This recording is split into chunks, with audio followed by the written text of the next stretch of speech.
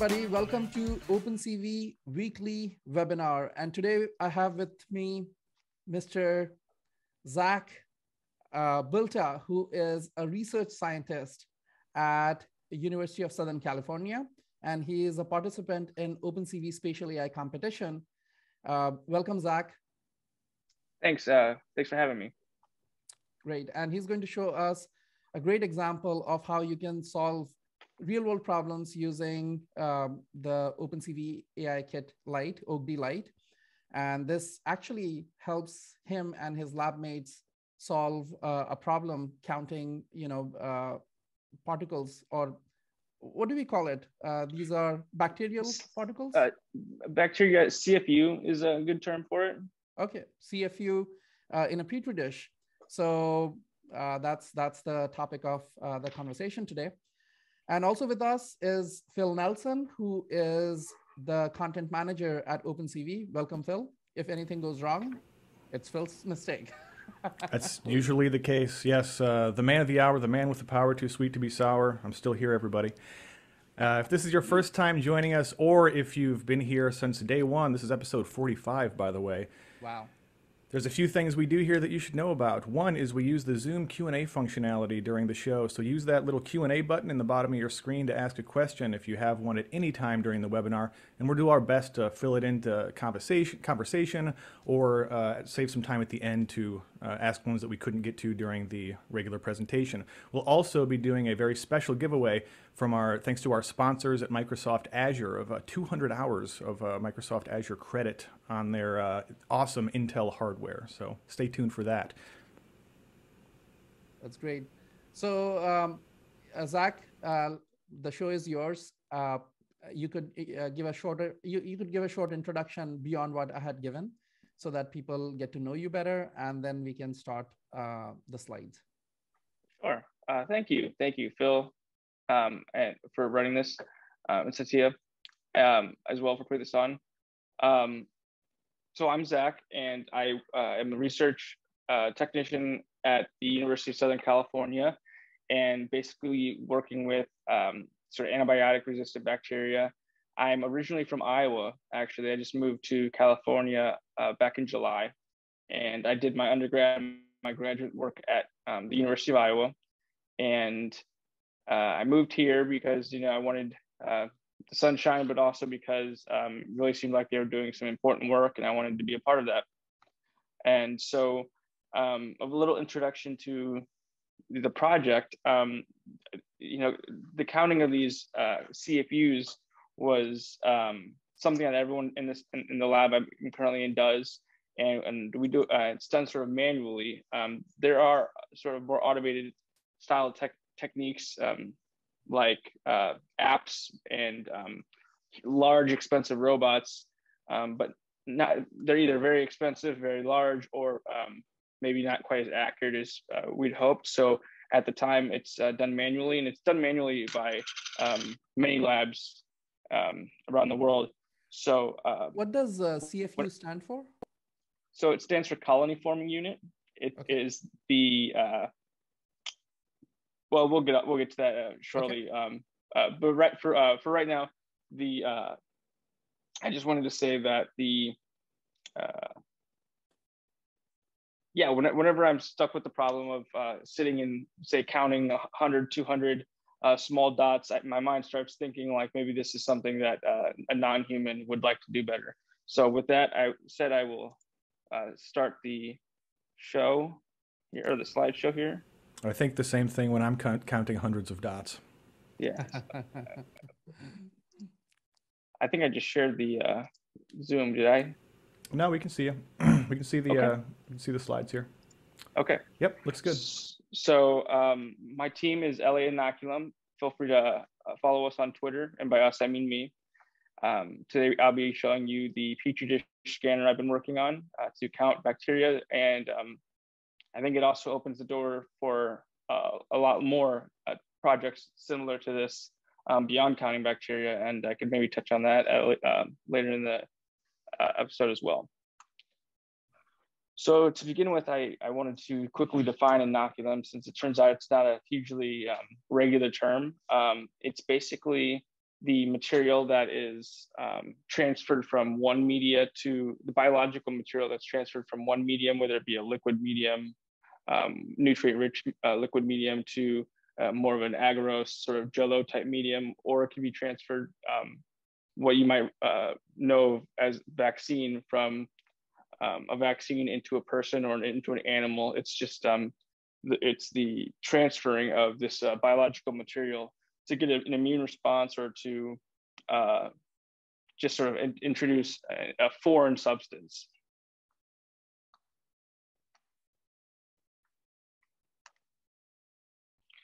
So in microbiology, the inoculum is the uh, transferred biological material, and um, we often use liquid liquid media to kind of grow up large numbers of this bacterium, but then it can be transferred to an agar agar plate um, to um, more specifically focus on uh, single colonies, single CFU um, to be able to control for the different, for example, genetic makeup of the bacteria that we're looking for.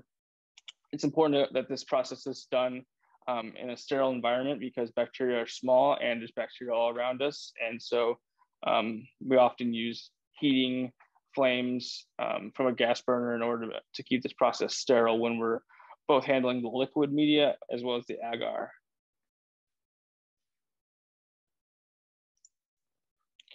So in order to deal with these um, bacteria, um, if I were to grow up a bacteria in a liquid media overnight, I, I there could be just billions of uh, these cells. And um, it's important that you know, in science as well as engineering and everything that we, we stay, uh, that we can be uh, quantity wise very precise. So when we have these billions in a solution, you got to do um, the you got to do the Carl Sagan voice. Billions and billions.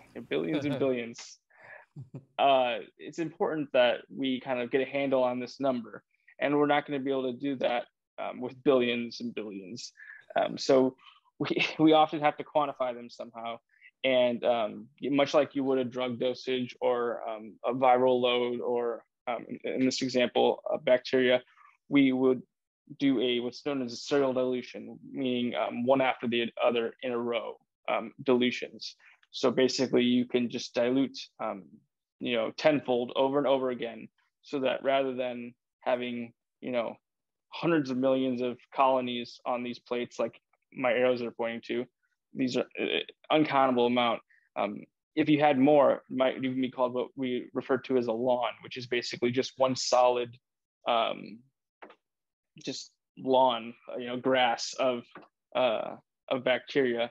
And the reason that's a that's sort of an issue is because um, each one of these CFUs, which is sort of these dots on these plates, represents a genetically or one cell that has propagated into a colony. So they're not. This isn't one cell we're looking at. It's a um, colony forming unit. So it's many, many, many of the same cell So this is the same genetic makeup that is sort of propagated into this visible sort of glob.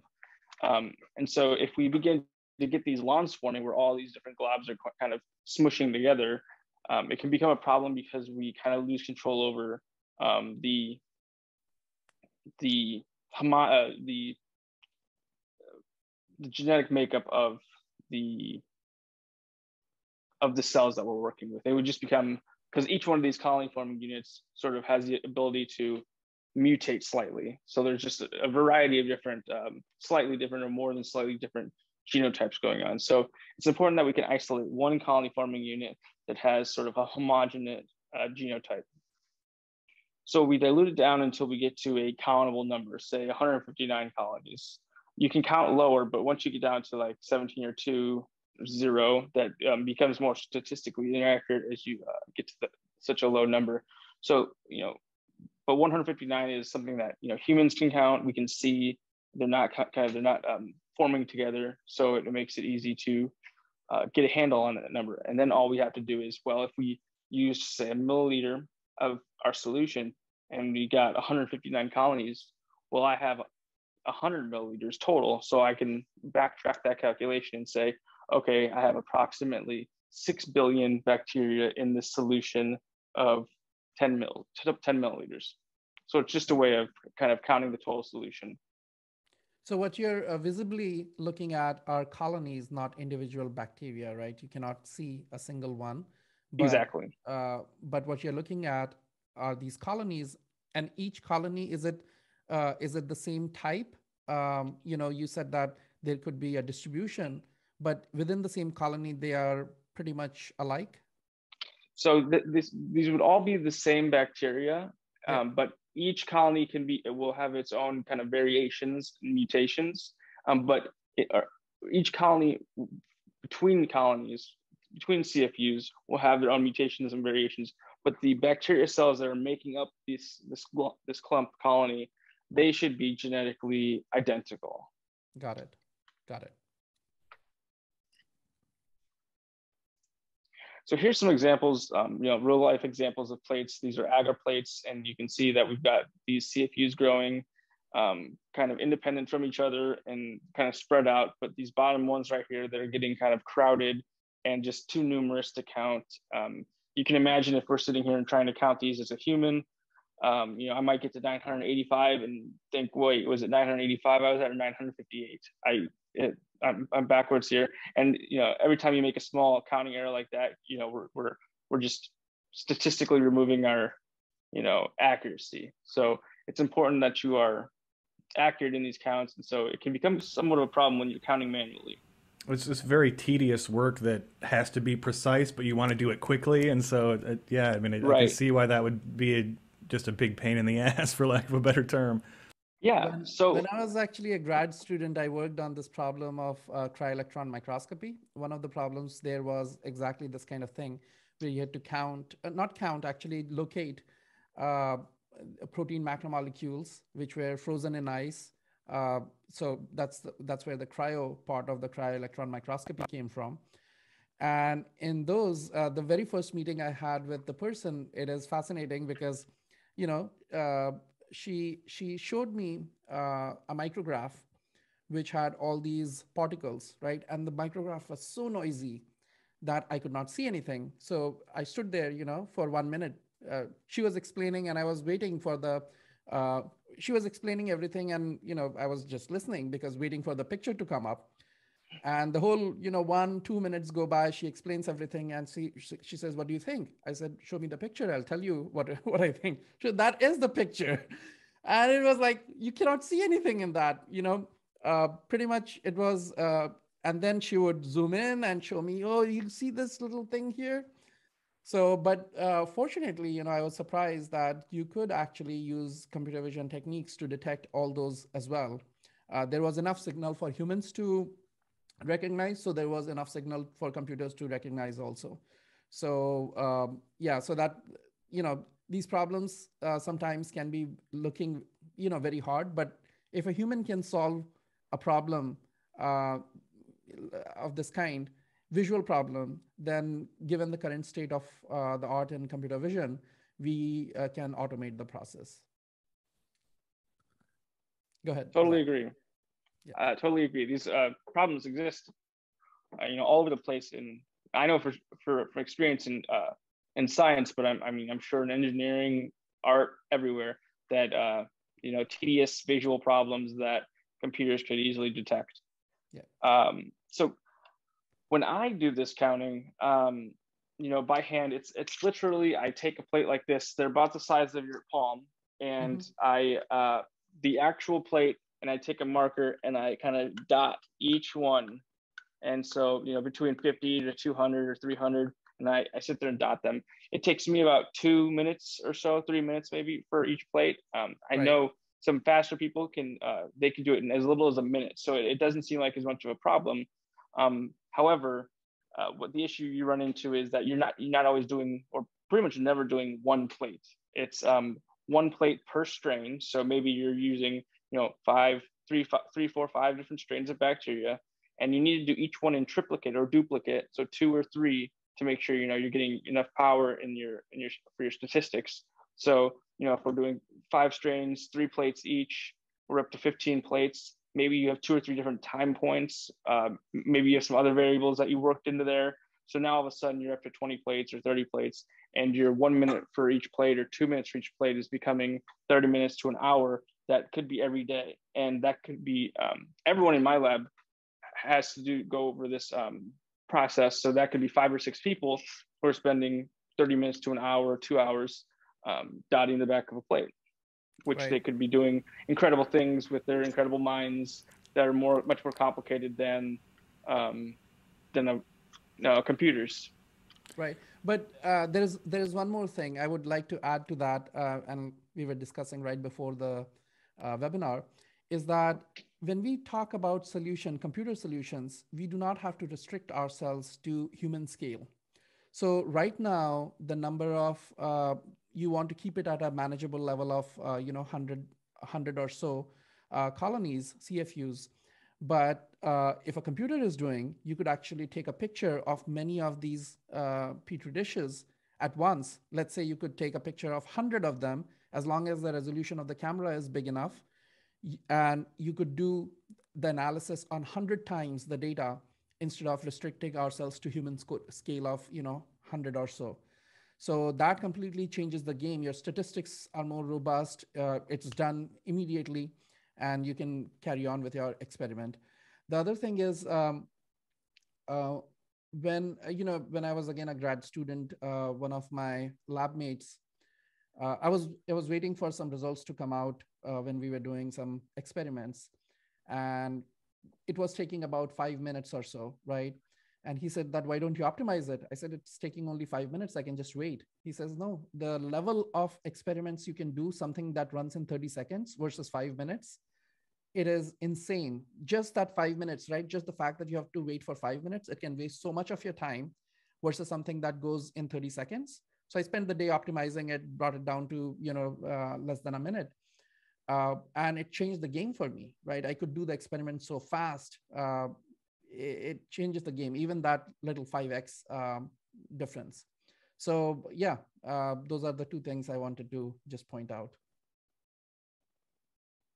Yeah, there's a, there's a some, there's a saying I don't know if I got get it right, but I, I use it sometimes in, in my lab, which is uh, when I'm when I'm trying to like figure out you know maybe this could be done faster in a different way. I I'll, I'll say like don't underestimate my ability to use six hours optimizing a 30 second problem right. into you know a two second automated problem. Right. Right. But it it's, adds it's up eventually. Double edged sword for sure. Well, it scales up, right? Uh, it adds up for you. For right. you, it may just save, uh, you know, uh, a little bit of time, but then your lab mates also benefit from your uh, right. innovation, and that's where the scale comes in. Right. Exactly you, you, touched on a point there that I think is a really, you know, I'm really running into it with this um, project, which is, you know, the use of these these plates. Um, the, one of the biggest uh, difficulties I'm having is sort of the manipulation of the physical plate with the Lego Technic, um, especially taking the lid off. And I think the reason that is is because um, these plates were designed to be easiest for the hands to use, for humans to use. Yeah. So what what we run into is often like the optimization using automation of of these problems from the human perspective of the problem. So so like I said, I'm trying to figure out how to uh, use the computer vision to count 100 colonies. When you immediately said, why why is it got to count 100? Humans can count 100. This can count you know more than 100. Or you know you can only count one plate. This can count 10 plates. Um, and the same with this dish. It wasn't designed for uh, necessarily automation. It was designed for me to open up. So um, maybe you know looking at these problems, you kind of like go, kind of have to backtrack a little bit and remember to how to best optimize the automate the problem solution rather than automate the human solution to the problem. Right. Does that make sense? Yeah. Another analogy would be that let's say you want to uh, build a security camera, right? Uh, and uh, humans, if humans, the way they uh, inspect things is, oh, I'm looking this way. I cannot look behind. For looking behind, I have to turn around and look behind. But if you're de- uh, designing a security system, you're not going to design a camera which looks this way and then turns around and looks that way. Uh, there's a lot of mechanical, uh, uh, you know, mechanically that's inefficient. You just put another set of cameras looking back. Literally eyes in the back of your head. That's what. That's yes. all we need. Yeah. Yes. Okay. Right. Sorry, that was a diversion. Zach, go ahead. No, it illustrates the point perfectly. So um, yes, we have these CFU colony forming units that are, um, each one is sort of genetically homogeneous in each of these um, white dots. And um, all of the white dots are the same bacteria, but they are potentially uh, mutated or slightly different genetically. So the basic idea to the problem was that, um, you know, we have these stacks of maybe, for example, here's, uh, I don't know, 10 plates. Um, and I would, we would first remove the, we have to remove the plate from the stack because we can't, you know, read them in a, an entire stack. We might be able to read 10 plates at once sitting side by side, but as they are, when we use them and, and carry them and move them in these stacks, we can't, uh, you know, see. So you have to remove each individual plate from the stack and then remove the lid. And the reason that I've decided to go about removing the lid is because when we count them, we turn them over and just sort of um, dot the bottom of them. But the problem that we were running into, or I've heard of as well, when it came to using like the apps and your phone, is that sometimes these um, CFUs grow on the sides of the plates, and so from a top-down perspective, it's it, you can't see those.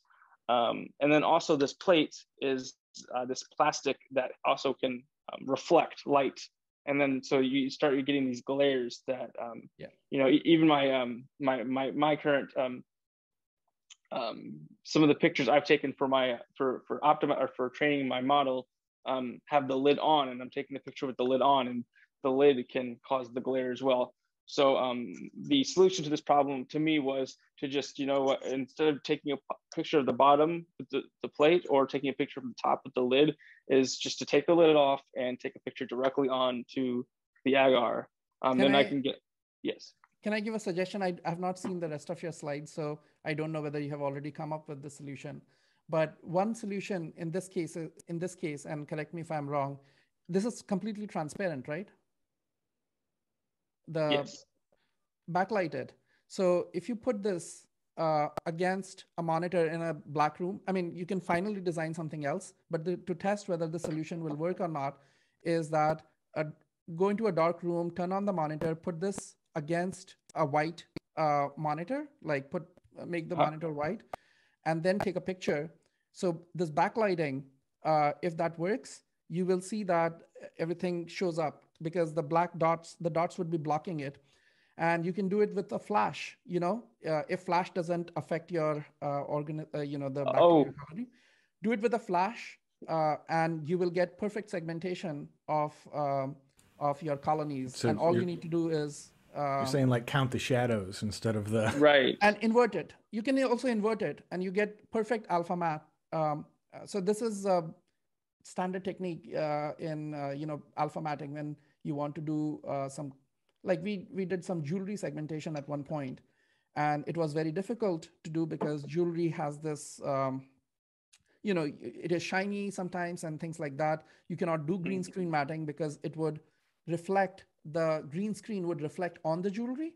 So it would look really bad, right? So we took right. two pictures, one with a regular RGB and the other one was a backlit uh, photo, right? So uh, the light from the back uh, is obstructed by this jewelry. We put the jewelry on a transparent mannequin and uh, lit it from the back and you get this perfect segmentation. You invert the mask, do some cleaning, and you get this perfect segmentation and uh, you know it works beautifully. So something worth trying for this uh, problem if you uh, if that's an option.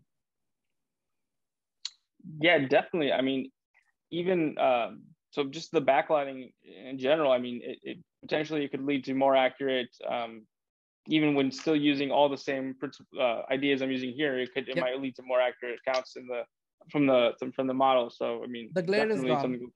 Right. The, the, most important thing is that the glare is completely gone when you're backlighting it. Right. Yeah. Yeah. Um, so uh, counting these uh, bacteria, we uh, decided, you know, the best way would be to kind of pop the lid off, take a picture directly onto the plate. Then we can see everything, even the ones growing on the sides just from this um, above view.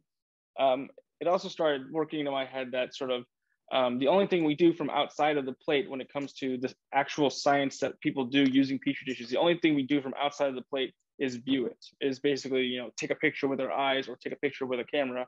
Um, everything happens inside the plate. So if we were able to develop a you know, an automated way to get that lid off. We're not just think we're not just talking about um, snapping pictures anymore. We're talking about we could you know add things to the plate. We could um, add the add the bacteria to the plate, pick mm. off colonies from the plate. You know, it really opens the doors to what we can automate um, with this process. So um, remove the plate, remove the lid, scan the plate with the Oak D-Lite, and then um, backtrack on our on the robot to basically put these um, plates into a discard stack that I can come grab, pick up the stack, and go on my merry day. So rather than this uh, stack of 10 plates taking me 15 minutes, I would hopefully be able to set, stack down, uh, have it run through them, basically just you know snapping a photo and counting the, the CFUs. And um, I'm hopefully wouldn't even be able to go do very much, honestly, uh, for 10 plates. I'd have to come right back and grab the stack and I'd have a nice list of, uh, of CFU counts ready for me that are accurate and uh, I can use for future science, whether that, whether that be um, uh, counting the number of bacteria for use in an experiment or maybe maybe the amount of bacteria on the plate is the experiment maybe i treated two different plates uh, two different plates with uh, Those friggin' auto updaters, man. They get you every time. Yeah. Uh, one plate I treated with a drug or uh, some sort of probiotic, and I want to see, okay, if I treated this bact- this bacteria with the probiotic, this bacteria without the probiotic, how is the growth difference? And then I take the picture, take the picture, and count each one.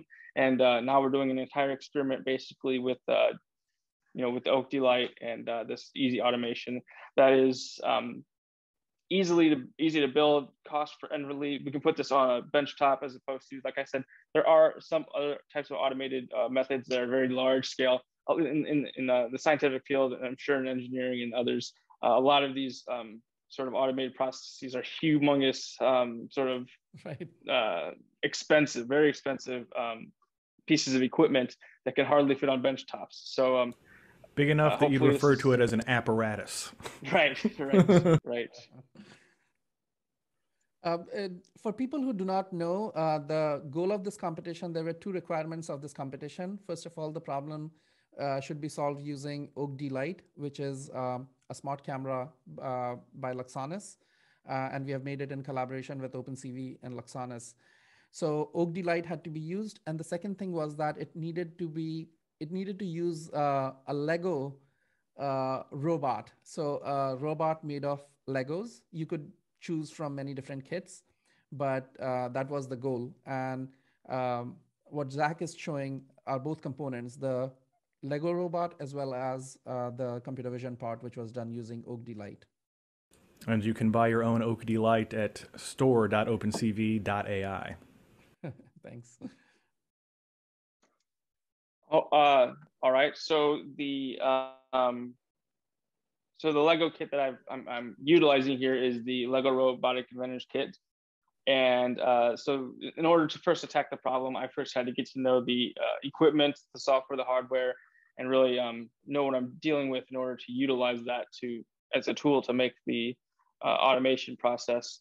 So first, I decided to tackle um, both the uh, ejector method for getting these plates out of the stack of plates, as well as sort of what, what's going to go into making the claw that's going to be able to grab the lid off of each one of these plates because uh, it's it's a very fine.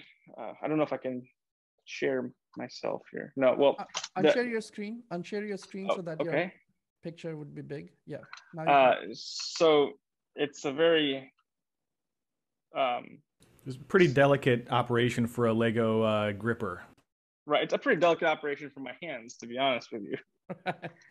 uh, so that's why um, that was definitely going to be definitely is the most challenging part. I mean, I'm still working on it to this day. Um, Zach, in terms of your background, uh, I mean, obviously your background is in biology, but uh, did you have a lot of programming experience prior to this project? So I, I don't know if I'd say a lot. I'd say some. I uh, took a, a, couple courses um, at the University of Iowa when I was there, and then I've also I do a lot of self learning. Iowa. Um, That's great. Yeah. I uh so I do a lot of self learning and um so like uh I kind of make my own curriculum off of online materials and you know excellent. Coursera, uh, Codecademy, um, uh, Khan Academy, all the different ways to sort of put together. So I have a little a mixture of uh, you know Python, JavaScript, and um, C++. I um, play around with Unity a lot. So before I got to working on um, the computer this computer vision problem, I was um, I was really into playing on Unity and sort of learning how to uh, build sort of 3D models on that. Tinkercad. Um, uh, this little uh, Lego guy I got here, I got from entering a Unity contest where I made a um, Lego Unity uh, minifigure sort of uh, mini game. And so uh, they, they gave these out, the cute little Unity figures. Um, so yeah, I'm always kind of finding ways to sort of like um, inspire and learn and uh, figure things out. And so robotics and uh, computer vision, as well as um, you know the computer science portion of it. This is all sort of like a hobby, a passion project of mine. Right. Um, and I just think it really mixes well with the science too. Yeah, and career-wise, it makes a big difference if you uh, stack some of these talents, right? You have one thing, right? If you're an expert in one thing, that's something. But if you're an expert in two different domains and you can overlap them, you can use expertise in one. Like uh, a good biologist who is also an excellent programmer, right? You know you won't find many of those and then you would be among the best in the world right? So sure. and add one more thing let's say robotics right or computer vision and now you're definitely in the top 100 in the world right? So adding some of these skills stacking some of these skills together it's a very good um, career you know uh, choice uh, when when you do this. Definitely. I mean when uh, just even for you know in in my lab like scientific analysis you know we we we use different programming languages and like my prior some of my prior experience was able to make me jump on using you know some of the lab's uh, programming software for just for data analysis. So like just in that environment the the there's a lot of crossover. I was um showing this this presentation to some of my lab mates and uh, they were super impressed by the you know the robot. And um which uh, to me was interesting because like I felt like when I showed the robot versus when I'm like introducing this biology, the people on this uh, on this webinar who are watching, you know, from home, probably a lot of them have like robotics experience, and they're going to be more impressed by the biology part of it. They're going right. to say, "Wow, that's incredible." And so, um, whereas they may maybe not quite as impressed with the robotic because they're all building these at home themselves. So uh, just it, it made it easier um, to be impressive just by having those two different kind of sides of things um, when uh, you know I'm I'm building it all my you know all myself here using both sets of skills. So just interesting what it impresses different groups of people. Yeah, you got to be able to read the room. Yeah. So um, back to the um, hardware software of the problem, I have um, one of the pre-builds that come uh, with instructions from the inventor's kit kind of comes with making of a claw and i thought well that's a good way to start let's see what they recommend for um, making of a claw so this um, claw here is off of uh, what i think is charlie and um, it's basically color activated so sort of learning the mechanism of turning rotational force into more of a linear closing grip force uh, how, how smooth is are the servos on that? They, they look look pretty smooth. Yeah, yeah, they are definitely. Um, I, I've been impressed. It's all uh, they're very um, very easy to use, and they're very um. I feel like it's very kid friendly. Like I feel like they're very robust. You you could toss this thing on the against the wall, pick it up, kind of twist it, play with it, chew on it, uh, and they'll still work. They still work uh, quite smoothly. Yeah, our friends at uh, Cortic Technology have a really cool visual programming uh, setup that is compatible with this. You, uh, folks out there should check out if they've got the Inventor kit or are planning on getting it definitely.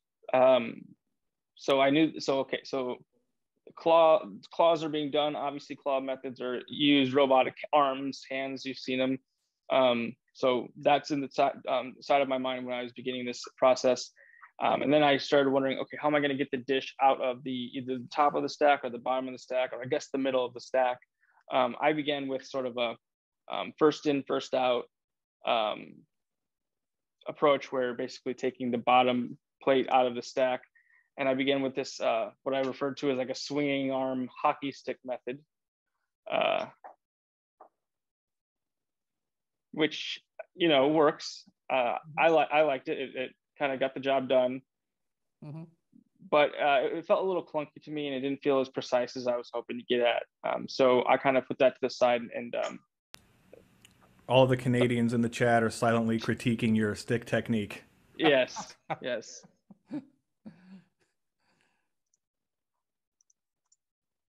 Uh, so I moved on to um, this um, this different form of dish ejector.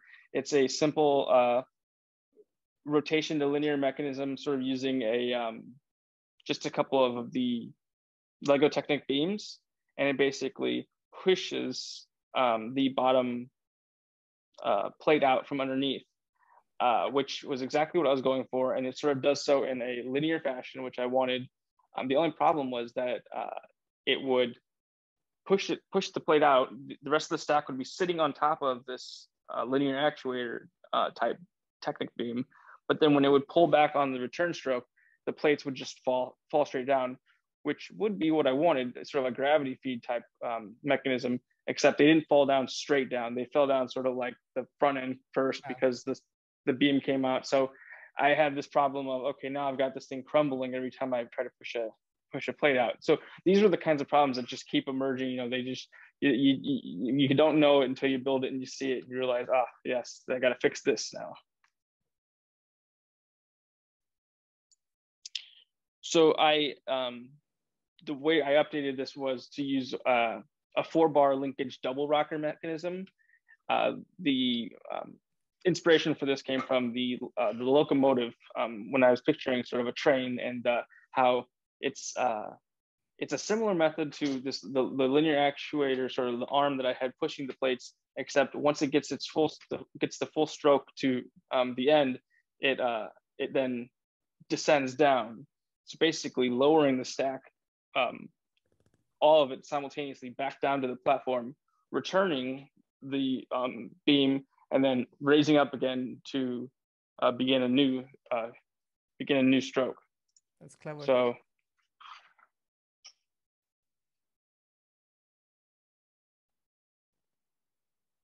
That's very cool and also very sounds very awesome. Four bar linkage double rocker mechanism is some serious engineering sounding stuff. Uh, so I, I, really like this uh, this one for solving that kind of that problem at, at, the time. Or actually, this is still the current method I'm, I'm using for this um, removing dish ejector, move, removing the plates. So uh, here are just a few photos of, of um, sort of midway through my uh, my build. I was having the um, the ejector eject these plates into this um, sort of next area of the of the robot where I would have the claw set up in order to um, grab or grip the lid, remove it for the next process, the the, the OAK-D Lite process. Um, I began with I began with a simple claw similar to um, the Charlie one we saw at the beginning of the um, uh, presentation.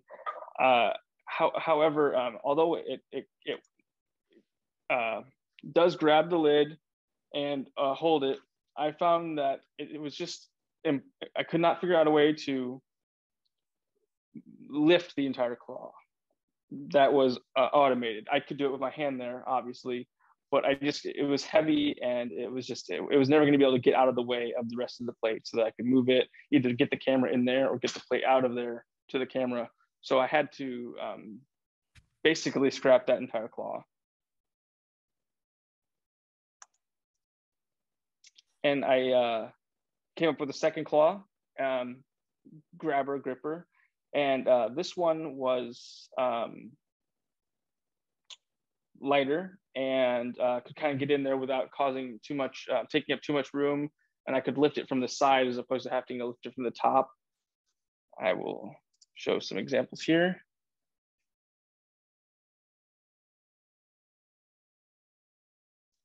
Uh, what I liked about this was that I um, was able to um, add these four grippers onto each one of the claws, or two grippers on each claw that really made sure I got a handle on the lid. It's important that uh, when grabbing the lid and moving it and replacing it that it, it can't fall. It basically that that that um, interferes with the entire process. If the if the lid falls, basically it's it's like um, the front person in the line tripping, everyone trips over them. So this entire process has to be um, pretty smooth, very little room for error. Um, introducing a little error um, at multiple stages, you know, those just multiply and they add and uh, will will cause problems for the whole. It seems like it could also foul your data up as well, right? Like you you may you may screw up, you know, some of the colonies just by having it kind of jarred around a lot, right?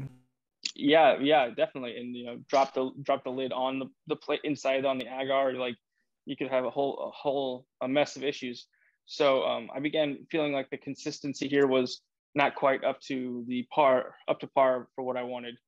Um, but here's um, the ejector followed by the claw, sort of like showing what my thought process is for how I'm kind of wanting it to go about. Mm-hmm.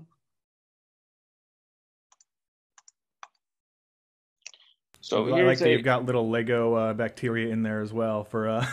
yes, yes, I, I, definitely wanted to have some uh, Lego in there. Uh, here I have just a few kind of um, images to and videos to show some other parts of the um, the robot. So the first image here is sort of showing how I'm imagining the OAK-D Lite to be set up in um, potentially.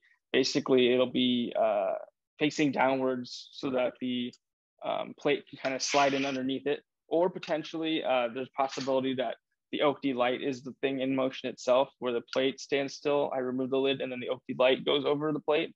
Um, I haven't quite, um, uh, you know, for sure figured out which way it's going to go, but as of right now, it's most likely going to be the OAK-D Lite facing down and the plate being um, put underneath the plate and then removed. And the movement of all this after the dish is ejected and the claw removes the um, lid would be done on uh, what, I'm, what I was thinking would be one of these platforms, but that uh, has evolved as well. Um, so it might be using one of these platforms, or it might be using more of a um, sort of a, a, conveyor belt system. I, I haven't uh, complete, completely gotten that taken care of as well. Um, and then finally, I decided that like I, I still didn't quite trust Claw 2, uh, so I sort of made a, a, a some uh, some new some upgrades to it oops, to make it um, to where, you know, I didn't want it to do it until I got it. I didn't want to make the claw and, up, and optimize it until I could get the lid off the plate. I wanted to update and optimize the claw until I couldn't miss the lid. So there's a difference between getting it and not missing it. Right. And um, this um, claw, I felt confident that it's really made in such a way that it, it, it really can't miss and it really can't drop. Um, so I was really, I, I, became really happy with this. It's almost like a caliper style. Um, exactly. Kind of, yeah. Also, things you probably only hear on OpenCV weekly webinar. I didn't trust Claw 2.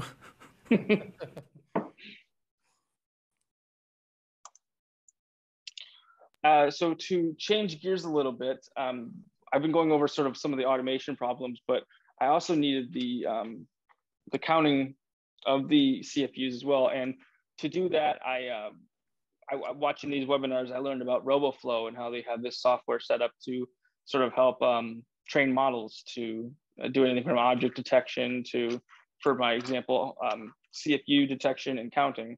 And uh, one thing I'd have to say is uh, they have really incredible uh, customer service. And I, I, I know uh, I made this joke with some of my lab mates. This is um, like I'm selling the product or something, but uh, they just they contacted me like out of like on their own, and they just have been nothing but try and help me, and have been really personalized in helping. Uh, I, I couldn't have probably learned how to use this um, software as quickly without uh, their assistance, uh, and they've really taken uh, to you know taken almost personally to making sure that you know I, I this project is moving along smoothly, uh, and I've really appreciated it. Uh, you know, you really got appreciate when customer service really seems like they they care. So, uh, yeah, yeah big shout out.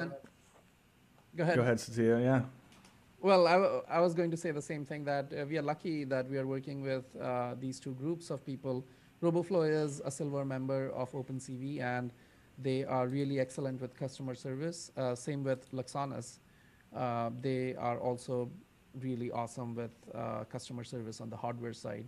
So uh, we are, I mean, uh, it, it's not like you know it's a magic bullet or something. We just got lucky on both both those groups. Yeah, definitely. And um, uh, your your uh, your buddy Salo's in the in the chat here. He says he says uh, you're a legend, Zach. Thanks. um, if if anybody out there wants to uh, uh, sign up for RoboFlow, the best way to do that is go to roboflow.com/opencv. Yeah, and also if you uh, would by any chance like a, a RoboFlow hat, um, after this webinar, I'll be having. Um, if you go to my Twitter, I'll be um, figuring out a way to do a raffle. If you just follow me and uh, you, I'll, I'll, make a tweet basically about how I'll do the raffle and I'll be raffling off a, a RoboFlow hat. Uh, I'm sure uh, uh I'll, I'll, be in contact with RoboFlow and we'll be able to get that all set up and get you a, a really cool RoboFlow hat uh, as soon as possible. So just uh, you know follow me at Inoculum LA on Twitter and look for that raffle. Tweet. I've got one right here. It looks like this. Actually, I think the the one that um, uh, that I'll be raffling off is like a, a beanie with the uh, RoboFlow R. It's, it's really oh cool man, looking. yours is cooler. It's, it's so uh, it's pretty exciting. Yeah, just so people know that uh, using RoboFlow was not uh, not a requirement for the competition. So people are discovering uh, some of the tools by themselves. So uh, I just wanted to put it out there that it was not really uh, a requirement of the competition. You discovered them and you've been working with, with them yourself. Yeah, definitely. I, I saw a, webinar you did a few weeks back with Joseph, I think. Yep. Uh, uh, and it was uh, really some really interesting stuff. And uh, yeah, immediately um, they've been really helpful. That that filthy Iowan. He will be back in a couple of weeks for another episode. by the way. Hey, we're, we're, we're both Iowans, right? Yeah. Mm. and the two Nelsons are not related. Uh, so another um, kind of photo of what I'm working on over with Salo at uh, RoboFlow is um, training the model to detect these uh, CFUs. Um, at first, I basically trained it to um, detect any sort of bacterial colonies on these plates, but sometimes these colonies, even though we want them to be spread out, sometimes they do kind of end up touching or interacting. And um, what we don't want, so that'll turn the shape from a circle to maybe like a, a figure eight or um, just different morphology looking uh, things. And um, at first, I was counting them as sort of like, okay, this is three that are just smushed together. Tried counting it as three individuals, but um, you know, RoboFlow has been really helpful in kind of helping me um, tweak this model so that it can um, recognize different um, uh, different morphologies here as you know as either a two CFU or a three CFU um, to uh, help make the you know, accuracy of the whole thing um, better. So even after I thought, you know, okay, this solves the problem, I can just I can detect these colonies, we're good to go. Um, they were still uh, adamant that you know, well, we can we can make this better. Uh, we can um, rather than trying to uh, tease out the three colonies in the smush ball, let's teach it what three colonies looks like. And then you know, of course, at a later point, I can you know tell it divide that number by three, and that's how many single colonies there were there. So um, yeah, just continued support, uh, continued uh, help with this project. Quick question, why is the slide from the side? I would have imagined that you would put a top-down view, uh, but this one is from the side. Sure, uh, so I guess my, my, my idea, and uh, correct me if I'm wrong here, I this was just sort of the original pictures I began taking was I didn't want to immediately teach it like so when I set this up so that the camera, the OAK-D Lite's going to be taking this picture, it's going to be in the absolute perfect condition, lighting and um, angle as I can. I right. wanted to, I guess, make. I was trying to take pictures that would sort of challenge and um, uh, give it almost some of the worst scenarios. Worst scenarios. Okay. Okay. Yeah, that's yes. that's a perfectly valid thing to do. Yeah. Um, and, and even like I don't even know if it'll be this far away. So yeah. um, we might this this um, model might be training at a, a, further distance and being able to pick off these small colonies, uh, you know. So hopefully, when I you know really shove it in the OAK-D Lite's face, it will it'll just be like, oh, this is easy, you know, Tra- train harder, play hard, train harder, kind of thing.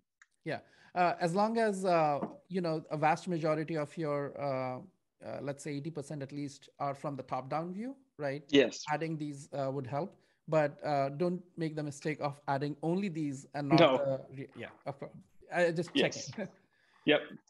Uh, we have a we have a number of them. Uh, see, that was another thing. I wasn't sure kind of how many, and RoboFlows kind of helped me um, sort of put a minimum on the number of pictures. I think I have about um, uh, I don't know, 45, 50 photos that are annotated, and we're doing about 70% of them in the uh, training set and um, 20% in the validation set and 10% in the test set. So um, I think, yeah, most of them are of some sort of top down measure, but um, yeah, I, I, definitely threw in some that were sort of challenging. I mean, if you take a look, you can even see, I'm counting uh, CFUs on, on the very bottom of this picture through the side of the glass even. Right. Um, and, and I would never challenge in actuality to, to, to uh, uh, count these through the side of the, the glass. So I mean, it's, it's impressive that they're still detecting uh, through the side. Right. Right. And the benefit yeah. of uh, doing this can also be that uh, when you uh, move to a non-robotic solution, let's say you want to create an app uh, using the same model where you cannot guarantee that people would be following instructions, uh, but it's a cell phone app, right? In that case, the same model uh, would just work out of the box. Sure. Yeah. Yeah. Um, let's. Uh, we're we're coming up on 9:55. I'm to pause oh. so we can do our trivia giveaway, just in case uh, anybody has a hard stop. Um, Zach, if you mind unsharing the screen real quick here. Sure. Yep. Uh... Yeah. Perfect. Yeah. So uh, this is the OpenCV weekly trivia giveaway portion of the show. The way this works is folks in the Zoom chat are going to answer a question that I'm going to ask based on the slides. The first person to answer that question correctly, as it shows up on my screen, will win $200 worth of Microsoft Azure credit from our generous sponsors on awesome Intel hardware. So get ready to answer. And if you've won anything in the last, say, two months, please don't answer. Let somebody else get a chance. So we've been hearing a lot about a an acronym CFU. What does that stand for? Dan, you got me, bud. You got me, bud. I'm getting way too predictable.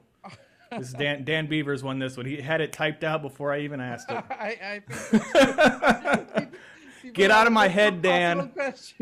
Get out of my head. Oh, that was fast. All right. Well, uh, Dan, please send an email to phil at opencv.org and we will get you your Azure credits courtesy of Microsoft. Uh, thanks to, uh, to, Sharon at Microsoft for hooking us up with those. You, you should you should throw a curveball next time. Something like you know, uh, you know, you heard the term CFU. It obviously stands for such and such. I'm just gonna pull a Bilbo Baggins and ask everybody what's in my pockets next time. All right, Zach, continue, please. Sure. Uh, thank you. Um, so uh, really quickly, where is the, where, here we go. Share screen. I, uh, uh, I thought it was a good idea, um, sort of what you were bringing up. So I thought I'd maybe uh, quickly go through a couple of these um, photos here once I, and so um, these are some of the different photos on Robo. Can you see these? Yeah yeah, these are some of the different photos that uh, taken, um, as well as some, you know, blanks, some null photos as well. Mm-hmm. Um, and and here, um, this goes back to what you're saying about the phone and the app and what, whatever. I'm actually kind of moving the camera a little bit, so there's a little bit of smear. So mm-hmm. it's kind of learning, um, you know, what that looks like as well. Uh, so we just got we have a lot of different angles and kind of uh, views to to to pick from, and uh, it's really coming along. It's really it's really coming along. That's great. All right, now bring back up this. So again, uh, check out my Twitter after this, and I'll be holding a raffle for RoboFlow hat.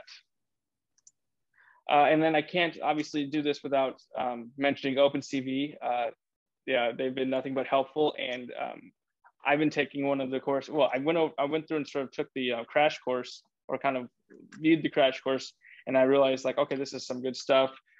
Uh, you know, I'm obviously passionate about this. So I signed up for the OpenCV for beginners and I'm on um, uh, module four right now. And um, it's really catching me up to speed on different ideas that are coming in handy, such as thresholding and, um, you know, just everything. I, I, was, I had no computer vision experience going into this and just some minor programming experience. And um, just so far, even this um, OpenCV for beginners has been super helpful, um, especially with this project. Thank you. Thank you so much. And I actually did not know that uh, right before the show we were talking and you mentioned it, but before that I did not know that you had taken the course. Um, I'm glad that it's useful. Thank you. Yeah, and for folks uh, listening out there, watching out there, it's opencv.org slash courses. Yes. And uh, a quick shout, uh, quick shout, how can I go back here? To Luxonis as well.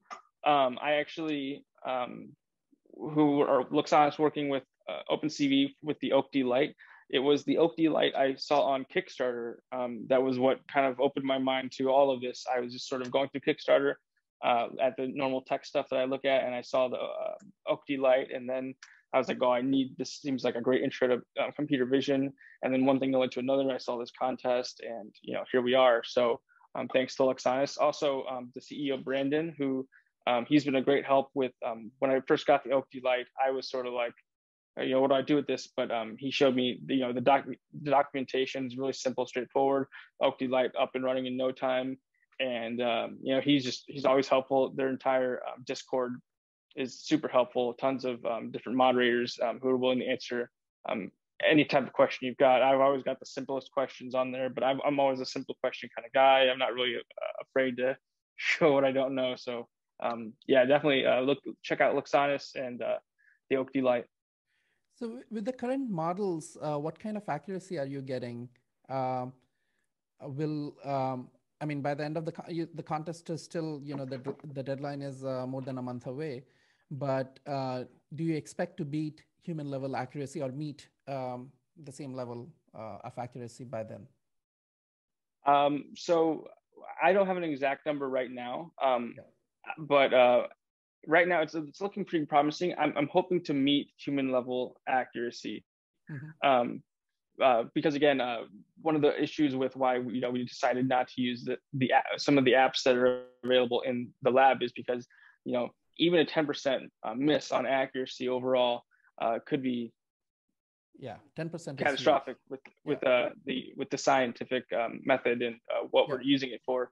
So if we're looking at uh, counting colonies at around 100 CFUs per plate, um, even going from 90 to 110, um, that 10% inaccuracy can be a problem. Um, I imagine that humans probably do have a we do miscounting probably, you know, between five, zero and 10%. Uh, so yeah. within that range, I'm not looking quite for perfection because I don't think anything is perfect, obviously. And some of these CFUs are very close together. So I, am hoping um, that uh, between myself, the OAK-D Lite, RoboFlow, um, and OpenCV, we can all kind of uh, it'll, it'll, get there hopefully. So, by any chance, uh, and I don't want to put you on the spot, but by any chance, uh, would there uh, would there be an opportunity for people to get access to the raw data uh, you have, so that other people can also contribute a model or try uh, training a model using the data that you have? Um, that's something that I'll have to uh, look into for uh, at a later date. Um, yeah. So, uh, you know, I have these print offs that I got from online of yeah. Uh, of, of these colonies, but um, some of these um, the, the actual colonies I have are of um, you know uh, a few of them are from plates from like my lab, and so I'm not sure if uh, those would be made to be shareable for the whole world. But um, I could definitely you know use this model to train off of images, you know, Google Images and uh, such, and people could then use that model um, further on. I, I want I would make it as much public as I can, obviously. That's great. Because what I'm thinking is that you have this automated setup now. You know, you can quickly go through many of these uh, pictures, perfectly taken pictures, right? And now the once you have this automated setup, the problem becomes a computer vision problem to solve, right? How well, how uh, accurate can you get on the model? And just like the Netflix prize, you know, uh, Netflix had been working on this um, uh, recommendation engine for uh, for a long time, and they made this Netflix prize a competition. And their internal algorithm was, I mean, their team had been working on it for several years, but within days, I remember, uh, if I'm not wrong, within days, people were able to beat uh, Netflix's algorithm, right? And several teams. It's not like one. So when you put out things like this to the community uh, and they are ready to share back uh, the model, this thing can be much, it will surpass human level accuracy uh, without any doubt. I don't have any doubt. Oh, for sure. Yeah. You know, I, I mean, this whole like having us all connected with the internet and it's it's crowdsourcing in the mind, basically everyone's minds. I mean, I'm just hoping somebody is looking at something I've said here and is just like, oh, I've got the no. Let me just you know tweet at this guy and tell him like this is going to make things you know much smoother or something like please tell me i mean if something just is inspired in you please tell me um because i'm just one mind but you know however many you are watching this i'm sure yeah like you said it's just it's exponential. Yeah. Um okay let's uh go ahead. Do you have uh, more slides? Uh, just two more. Just i wanted to thank lego mindstorms microsoft azure uh, for sponsoring. And then I wanted to thank you know my lab mates. They're um, very um, they're very supportive of me with all of uh, my not even just this, just whatever I crazy ideas I come up with in lab and try trying out. Um, they're always you know um, humoring my curiosity. So thanks to them. And uh, with that, uh, again, follow me on uh, Twitter and uh, thanks for listening. Thank you. Uh, we can ask, get user question, sorry, audience questions. Yeah, definitely. Um, Zach, will you do me a favor? And you had that last slide with your URLs and stuff. Can you put that up real quick? Because people were asking about it in the chat. Okay. Uh, sure. Let me. Well, I'm well. I'm grabbing some questions here. Yeah, we've got some good ones here. This has been a really fun show. People are really, really interested. Perfect. Thank you. I feel that uh, that we got some more rubber duck content here for you. I love it. I love it. Love to see it, folks. Um, and the Unity shirt on the uh, the little guy. Does that? Where'd you get that? So this um uh, there uh, Unity uh, partners with uh, Lego on these um on these small contests to basically teach people how to make um micro games. And uh and they do these contests all the time. And one of the, I, I entered one of the contests and everyone who entered just entered was sent one of these little unity guys. That's so um, cool. um, or girls. And so uh yeah, yeah, just check out yeah Unity and uh, and Lego uh, and uh, they do these. They teach you how to make a micro game with little Lego figure figures and um, it's sort of an introduction to programming and like uh, micro games. And they, they'll, they'll, send you one of these just for entering. That's awesome. I'm jealous. We need OpenCV Lego minifigs. yeah. Um. All right, that's cool. You can go ahead and unshare your unshare your screen now. Um, yeah, so lots of really good questions here. Um, people are uh, really responding to the to the Lego and Petri dish show. Um, first question here is from uh, Niraj, who would like to know: Is there any weight difference in the plates between uh, one with a more dense colonies and uh, sparse colonies? Does that actually affect the the uh, math here at all in terms of your your servos and whatnot?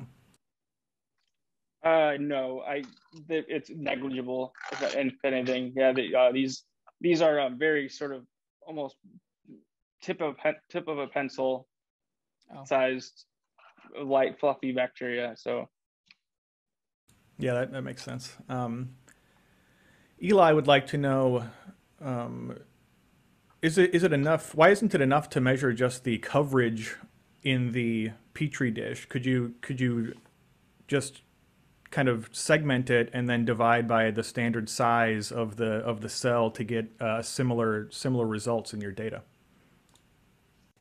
Uh, that's a good question, uh, but uh, I guess I would uh, remind that the the number of CFU that we're counting is uh, not just um, sort of like a raw number of bacteria, but also sort of the genetic diversity of the bacteria in your total solution. So 100 CFU isn't just 100 uh, CFU, it, it reflects um, the, the homogeneity and heterogeneity of the uh, uh, genetic profile of your bacterial solution. So are you saying that they could be of different kinds in, inside that 100? Uh, so they're all the same bacteria. Well, if it's not contaminated or if you don't have multiple bacteria, yeah. it would be all one bacteria. But um, each each of the CFU, each of the CFUs is its um, is its own specific very specific genotype. So it'd be like if a hundred of us were standing in a room, we're all human, but um, right. we're all slightly different. Uh, um, so you could take a picture and say like, okay, a hundred people in the room are taking up this much space, but it's um, just as important to say, well, we have a hundred different uh, genetic makeups there um, that are the same species, but they, they're um, different. Got it. Yeah, thanks for that. Um, Timothy would like to know Are the colonies randomly distributed, or is there an edge effect in the colony distribution? So that's a good question. Um, I would uh, say so. One of the issues, of course, with, with um, with when I was using the, some of the apps was um, the fact that some do form on the edges, but um, the ones that form on the edges, it, it, it's mostly evenly distributed. The ways in which we um, get, get, I guess I didn't go over the method in which uh, we put these on there, which is you kind of just uh, squirt like, I don't know, like uh, let's say 100 microliters. Um, if you don't know what that means, like imagine like, um, I don't know, an AirPod size amount, a drop, yeah. And then uh, two methods that are used. The method in, in, my lab is we put, you know, maybe like 10 glass beads, tiny, like the size of the CFU. We just drop them on the agar, and then it's called the uh, Copacabana method. And then you just shake it. and It sounds like a rattle. And the beads are basically rattling around in there and they're covering themselves with the bacteria and they're just spreading themselves all over the plate. And it's and you know you do it enough to hopefully hopefully get uh, as homogeneous as you can. Another method is called a, a, like a hockey stick method type situation where you have like a glass rod that uh, is like a hockey stick and you just kind of spread it around on there. So more hockey uh, more hockey content. We love to see it yes. folks. So there's two methods and mostly um, of course you know I guess it probably is easier for solutions to pool in the sides, but it's it's it's supposed to be homogeneous as possible. That's great. So and th- that piece uh, in the long run, that piece can also be done using a robot, I guess. Exactly. You know, so you're starting to see like it's very easy to pour those beads. It's very easy to you know squirt like a couple drops of liquid. Um, that could all be uh, you know just as easy as taking a picture potentially. Could, could you shoot the colonies from like a Red Ryder BB gun? we can do whatever we needed to. Yeah. One of the ways that we um, use these um, this bacteria after we plate it like this is you pick off one of the colonies with like a toothpick, and that is supposed to represent you know homogeneous genetic um, uh, genotype. And so, and if we needed to use that for something, I could imagine, you know, automating the process of just you know plucking off one of those colonies as well. So, I mean, this just opens the door to everything we do on a petri dish. You know. Yeah, very, very uh, the the the mind reels at the potential. Uh, got one more question here from Michael who asks, could you could another method here be to take a binary image and just count the pixels because you know roughly the size of the the CFUs? Yes, that I've I've I've, I've um, kind of thought that, that thought about that before. Um, I think it'd be very easy to threshold this image uh, and make it binary. And um, I actually never thought about you know pixel counting. I I just figured you know turning it binary would just make it much easy, just as easy or more easy to sort of count them. But I mean, even pixel counting, yeah, if you could get the average pixels per CFU, um, and then just count the total number of pixels and divide, yeah, that that's a great idea. Cool. Yeah. Um, we're about uh, 10 minutes past the hour. You want to take us home, Satya? Yeah, thank you so much, Zach. Uh, it is incredible that you know uh, you you're not only participating in this competition, you are actually uh, you know trying to surpass human level accuracy in uh, in this domain, and it is going to be very helpful not just to your lab mates but other people in the field as well. I really like your spirit that you decided to join the competition and you know you tackle this problem which you did not have any experience in before so kudos to you. Um, thank, thank you. you so much. Yeah. And as always, uh, Phil, uh, thank you for organizing the show and managing uh, OpenCV weekly webinar and other things.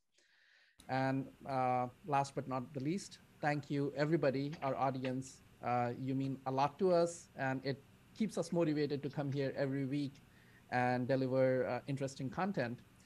Uh, before we leave, I just want to give uh, a last, uh, you know, notice to people that uh, our Kickstarter campaign for deep learning with TensorFlow and Keras is still on. We just crossed um, $100,000 on in the first 36 hours, and now we are at about 300 uh, backers. So those two milestones have been crossed. If you're interested, please go and check out our Kickstarter campaign.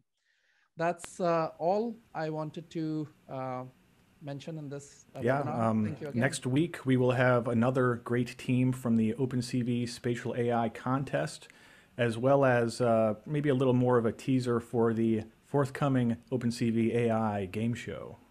Yeah. Uh, one last thing, one last thing. Uh, I really want to thank our sponsors, uh, Microsoft Azure and Intel, for this uh, organize for helping us organize this contest. It uh, they've been our sponsors for the last uh, few contests. It's awesome. Uh, big shout out to them. Thanks so much for watching this episode of the webinar. Please hit that like button, subscribe, and don't forget to tap the little bell icon to be notified when new episodes drop. This week's episode was brought to you by Intel and Microsoft Azure as part of OpenCV's Spatial AI contest. Follow along with the OAK-D Lite contest hashtag. If you'd like to be in the audience next week, subscribe to the OpenCV newsletter